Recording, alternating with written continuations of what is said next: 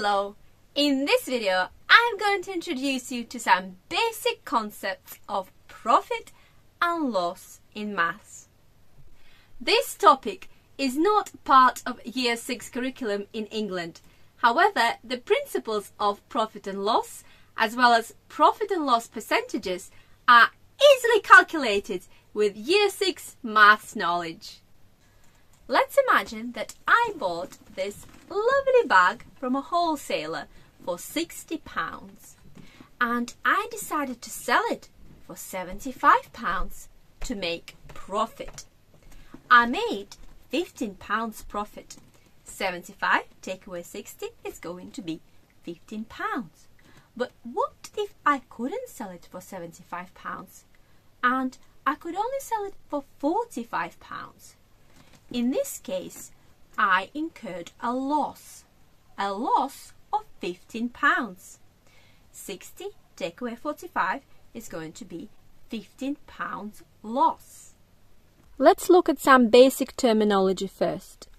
Profit is the amount gained by selling something at a price greater than its cost price. Loss is the amount lost by selling something for less than its cost price. Cost price is the price you buy an item at from a manufacturer. Selling price is the amount you resell the item for to your customers. Let's look at some examples. Let's imagine that I bought a bag for £60. That's going to be my cost price. CP for short. I bought that bag from a wholesaler and now I want to resell it to make some money. I'm selling this bag for £75. That's a selling price, £75. And I'm getting a profit of £15. So profit is calculated by selling price take away cost price. My selling price was £75, cost price is £6, my profit is £15. Cost price is always constant. What if I couldn't sell my bag for £75 and I only managed to sell it for £45? I incurred a loss. Loss is calculated by cost price take away selling price. So in this case, my loss was 15 pounds. There's also such thing as profit and loss, we'll look at it later, profit percentage. This is the formula of profit percentage. However, you don't need to remember formulas by heart. If you know your cross multiplication and division method, you can work out anything. So let me show you an example. Let me show you how to apply a cross multiplication and division method to work out a missing number. So our cost price was 60 pounds. This is our 100%. Our profit was 15 pounds. This is the percentage we're looking for the profit percentage. We cross multiply the numbers and then we divide it by whatever is left. By the way, I've done a video about cross multiplication and division. Have a look in the comments below. That's very useful to use cross multiplication and division method for working out the missing number. So we have 15 times 100 divide by 60 okay let's reduce it now what else can we reduce? Let's have a look. 15 and 6 we can divide both numbers by 3 6 divided by 3 is 2 and 15 divided by 3 is 5 so now we have 5 times 10 is 50 and 50 divided by 2 is 25. 25%. So profit percentage in this case, profit percentage was 25%. And you can also work it out by knowing that 25% is a quarter and we know that 15 is a quarter of 60 and quarter is the same as 25%. If I incurred a loss instead of a profit, my loss percentage is worked out similar way. You can use this formula or you can use the cross multiplication and division method.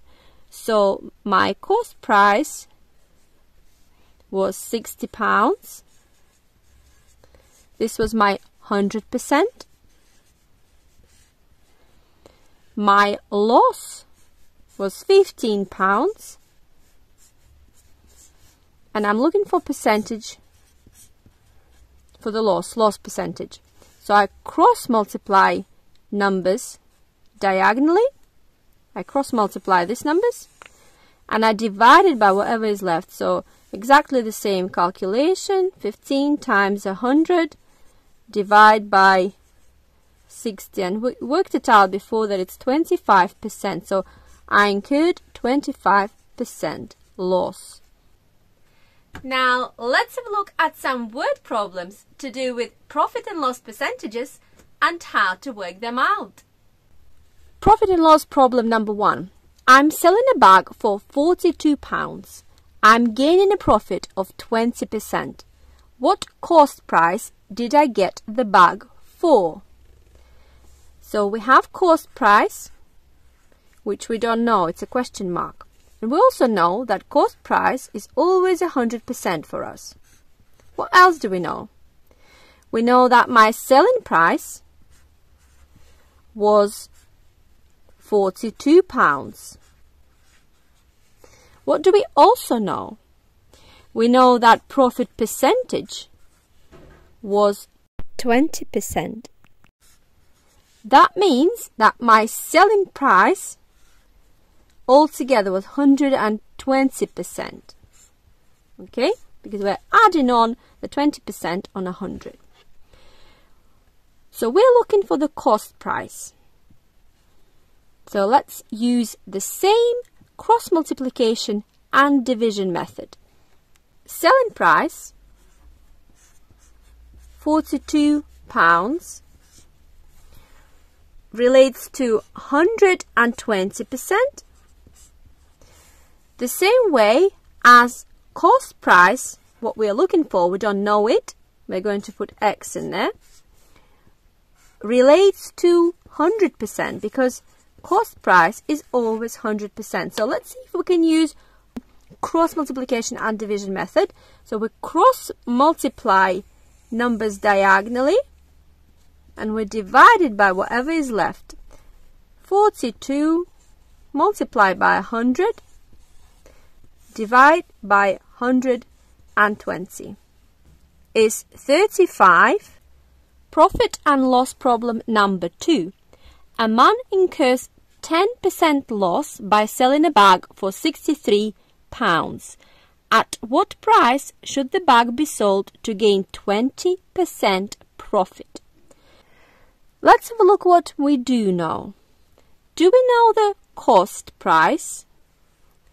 Well, we don't know it at the moment, but we know that cost price is always 100%. We don't know it. Let's put a question mark. Do we know the selling price? Yes, we do.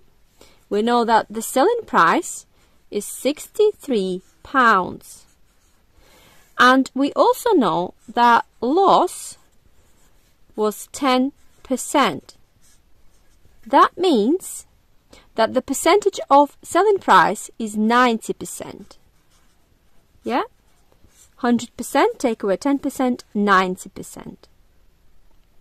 First step, let's find out, let's put first step, let's find out what the cost price is. So let's use the same method we were using before, cross multiplication and division. So cost price 100%. And then we have selling price 90%. We also knew selling price is 63 pounds but we don't know the cost price so let's put X.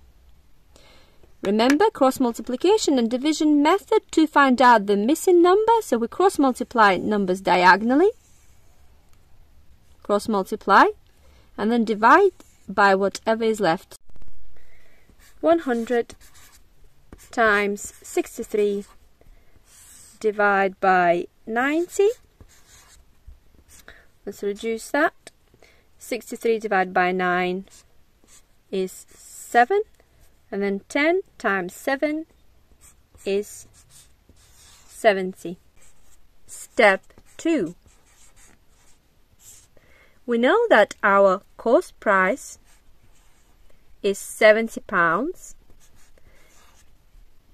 relates to 100% because cost price is always 100%. Now we're looking for our selling price. We don't know what our selling price is yet, so we'll put X. But what we do know that it should be 120% because we want to sell it with the profit of 20%. So we're adding 20% on top of it. So let's find out what our selling price should be, what our missing number is. So we cross multiply diagonally, we cross multiply numbers diagonally, and then we divide it by whatever is left, whatever stands alone. So 70 times 120 divide by 100 let's reduce that. We've got 7 and 12 left. 7 times 12 is 84 pounds. So our selling price should be 84 pounds if we want to make 20% profit well i hope you found this useful if you liked this video please let me know in the comments below what else you would like me to explain to you in maths. Until next time, bye bye!